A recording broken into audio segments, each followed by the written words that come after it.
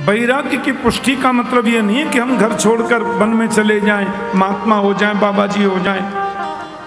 वैराग्य की पुष्टि का मतलब है कि जब तक रहो, सबसे प्रेम करो, अपना कार्य करो, बच्चों से प्रेम, पोता से प्रेम, पोती से प्रेम, पत्नी से प्रेम, प्रियजनों से, परिजनों से प्रेम अच्छा व्यवसाय करो अच्छा उद्योग करो, खूब धन कमाओ पर एक सूत्र मन में बिठा करके रखो कि ये कुछ भी साथ जाने वाला नहीं है। यही बैराग की पुष्टि है।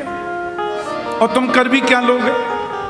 पत्नी से प्रेम करते हो, बच्चे से प्रेम करते हो पिता माता से आपका आदर प्रेम है, पर तुम कुछ कर लोगे क्या? पिताजी चले गए, रोने के अलावा क्या है बताओ? माँ चली गई, रोने के अलावा तुम क्या कर लोगे?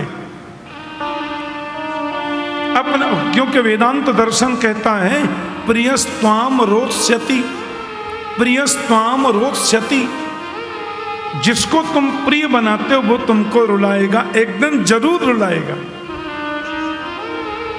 तो पहले से सूत्र दिल में बिठा के रखो कि कुछ भी साथ जाने वाला नहीं है।